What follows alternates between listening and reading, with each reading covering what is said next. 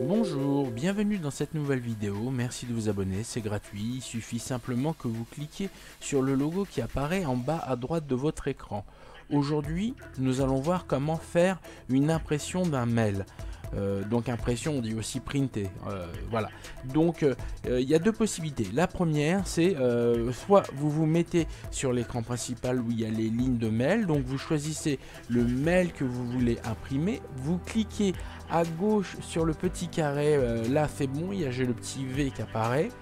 Et ensuite, en haut, vous avez archivé, déplacé, supprimé, spam. Et sur les trois points horizontaux, il y a marqué autre option. Donc je clique une fois et vous pouvez voir que le système euh, me permet de faire donc euh, une impression. Je, clique ici, imprimer le plus récent.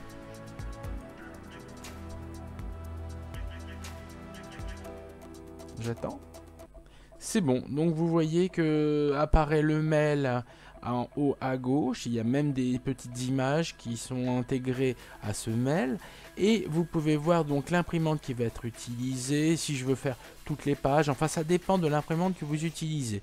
Mais euh, ce qu'il faut faire, c'est juste cliquer sur le bouton imprimer. Je vais pas le faire, mais euh, si je voulais imprimer, il suffirait simplement que je clique sur ce bouton à gauche imprimer. Et si je me rendais compte que c'était vraiment pas le mail que je voulais printer, il suffit simplement de cliquer sur annuler. Ceci est la première possibilité pour imprimer.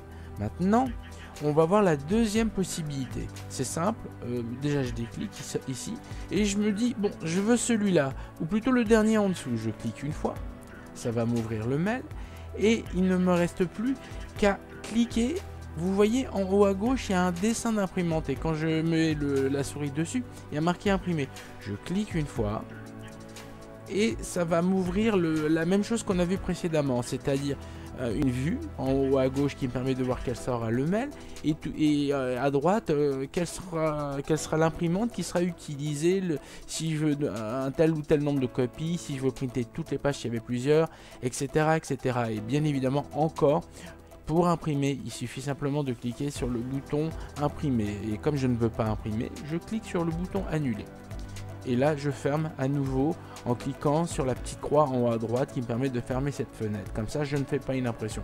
Mais si euh, j'avais fait l'impression tout ça aurait disparu et je me serais retrouvé sur l'écran principal. Merci. Bientôt de nouvelles vidéos. Merci de vous abonner. À bientôt